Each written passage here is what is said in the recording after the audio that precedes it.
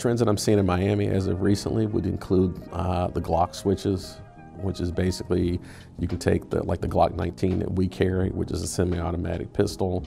Um, that those are being turned into fully automatic pistols. Uh, we're seeing more of that on Puerto Rico, but it's starting to show up over here on the mainland.